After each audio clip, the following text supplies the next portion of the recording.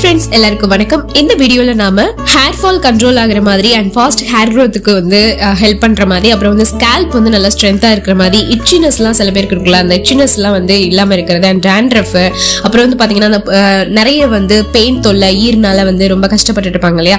So அவங்க எல்லாத்துக்குமே இந்த ஒரு டிப்ஸ் வந்து ரொம்பவே யூஸ்ஃபுல்லா இருக்க போகுதுன்னு நான் சொல்லுவேன்.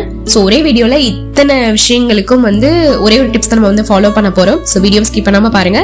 ஷார்ட் அண்ட் ஸ்வீட்டா நம்ம இந்த டிப்ஸ் வந்து எப்படி பண்ணலாம் அப்படிங்கறத பார்க்கலாம். வாங்க வீடியோக்குள்ள போய் தெரிஞ்சுக்கலாம். ஃபர்ஸ்ட் வந்து இந்த ஹேர் பேக்கு நமக்கு தேவையான ஒரு விஷயம் என்னன்னு பாத்தீங்கன்னா ஒரு மிக்ஸி ஜார் வந்து எடுத்து வச்சுக்கோங்க. அதுல வந்து வெந்தயம் வந்து ஆட் பண்ணிக்க போறோம். அது வந்து ஊற வச்சிருக்கணும். நைட்டே வந்து நீங்க ஊற வச்சிருங்க வெந்தயத்தை சரிங்களா? வெந்தயம் வந்து பாத்தீங்கன்னா ஒரு மூணு டேபிள் ஸ்பூன் அளவுக்கு நீங்க வந்து நைட்டே வந்து ஊற வச்சிடுங்க அதுவும் அரிசி கலைஞ்ச தண்ணீர்ல இருந்து நீங்க ஊற வச்சீங்கன்னா ரொம்பவே நல்லது.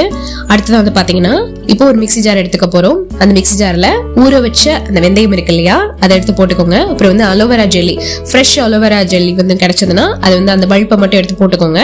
அதை ஆட் பண்ணிட்டு வேப்பில இருக்கும்ல நம்ம வீட்டு பக்கங்கள்லயே வந்து கிடைக்கும். வேப்பில இருந்தாலும் சரி வேப்பில பொடி கிடைச்சாலும் சரி நீங்க வந்து யூஸ் பண்ணிக்கலாம். ஸோ அந்த வேப்பிலையை வந்து என்ன பண்ணுங்க? இருபது இலைகளை பறிச்சு அதில் வந்து அப்படி போட்டுக்கோங்க. இப்போ வந்து இதை வந்து நம்ம மிக்சியில் போட்டு அரைக்க போகிறோம் அரைக்கும் போது தண்ணி வந்து தேவைப்படும்ல. அப்போ நம்ம வந்து வெந்தயத்தை ஊற வச்சோம்ல அதாவது அரிசி கலைஞ்ச தண்ணீர்ல தான் வெந்தயத்தை ஊற வச்சிருப்போம். அந்த வெந்தய தண்ணீர் வந்து இருக்கும்ல அந்த வெந்தயத்தை ஊற வச்ச தண்ணீர் இருக்கு இல்லையா அதையே வச்சுதான் இதை வந்து நம்ம ஃபுல் அண்ட் ஃபுல் வந்து தண்ணி மாதிரி ஊத்தி அரைச்சு எடுக்க போறோம். பச்சை தண்ணி வந்து இதுல ஆட் பண்ணவே வேண்டாம். ஓகேங்களா தனியா வந்து தண்ணி பச்சை தண்ணி இருக்கும்ல அதுல நம்ம ஆட் பண்ணவே வேண்டாம். இந்த வெந்தயத்தை ஊற வச்ச தண்ணியிலேயே நம்ம வந்து அரைச்சு எடுக்க போறோம். ஏன்னா அதுல தான் சத்துக்கள் வந்து நிறைய இறங்கியிருக்கும். ஸோ அதை யூஸ் பண்ணும்போது இன்னும் வந்து இன்னும் நல்ல ரிசல்ட் கொடுக்கும். அதனால தான் இப்போ வந்து பேஸ்ட் மாதிரி நல்லா அரைச்சு எடுத்துக்கோங்க. இப்போ ஒரு காட்டன் துணியால நல்லா ஃபில்டர் பண்ணிக்கோங்க ஓகேங்களா எதை வச்சுனாலும் நீங்க ஃபில்டர் பண்ணிக்கலாம். ஒரு காட்டன் துணியை வச்சு நீங்க வந்து ஃபில்டர் பண்ணி அந்த சாரை மட்டும் பிழிஞ்சு எடுத்துக்கணும். இது கூட நம்ம இப்போ தயிர் வந்து ஆட் பண்ண போறோம். ஹேரோட டெக்ஸ்சரை இந்த தயிர் வந்து நல்லா மெயின்டைன் பண்ணும். அதனால இதை வந்து மிக்ஸ் பண்ணிக்க போறோம். தலையில சிக்கெல்லாம் எடுத்துட்டு ஃபுல்லா அப்ளை பண்ணுங்க. எந்த ஒரு ஹேர் பேக் அப்ளை பண்றதுக்கு முன்னாடியுமே நம்ம தலையில என்ன பண்ண போறோம்? சிக்க எடுத்துட்டு கொஞ்ச நேரம் அப்படி வந்து ஒரு த்ரீ மினிட்ஸ்க்கு வந்து தலையை வந்து கோம் பண்ணிட்டே இருக்க போறோம். நல்லா சீவி விட்டுட்டே இருங்க. அப்பதான் பிளட் சர்க்குலேஷனை வந்து அது ப்ரொமோட் பண்ணும். அதுக்கப்புறமேட்டு நீங்க வந்து எந்த ஹேர் பேக்னாலும் நீங்க அப்ளை பண்ணலாம். சரிங்களா? சோ இப்போ நம்ம பண்ணி வச்சிருக்கிற இந்த ஹேர் பேக் வந்து ஃபுல்லா தலையில இருந்து மேல உச்சந்தலையில இருந்து ஃபுல்லா அந்த நுனி இது வரைக்கும் வந்து நம்ம ஹேர் ஃபுல்லாவே வந்து அப்ளை பண்ண போறோம் சரிங்களா? இப்படி அப்ளை பண்ணும்போது பொடுகு பெயின் தொல்லை எல்லாமே சரியாயிடும். ஹேர் growth அண்ட் ஸ்கேல்ப்புக்கும் ரொம்ப ஹெல்த்தி ஷைனிங்காகவும் இருக்கும். நிறைய பேருக்கு வந்து முடி வந்து அப்படியே ஒரு மாதிரி ட்ரையாவே இருக்குங்க அப்படின்லாம் சொல்லுவாங்க இல்லையா? ஸோ அந்த ட்ரை அண்ட் ஃப்ரிஷினஸும் வந்து ஹேர்ல இருக்கவே இருக்காது. அடர்த்தியும் இன்க்ரீஸ் ஆகும்.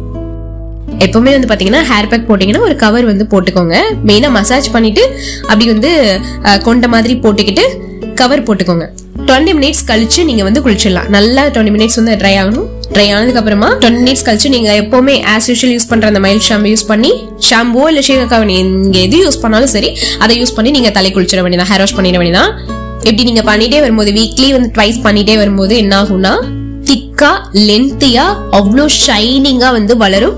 ஸோ வீக்லி மறக்காம ட்வைஸ் யூஸ் பண்ணிடுங்க ஓகே ஸோ எந்த டிப்ஸை வந்து ட்ரை பண்ணி பார்த்துட்டு எப்படி இருந்துச்சு அப்படிங்கறத கமெண்ட் பாக்ஸ்ல மறக்காம உங்களோட ஃபீட்பேக்கை ஷேர் பண்ணுங்க.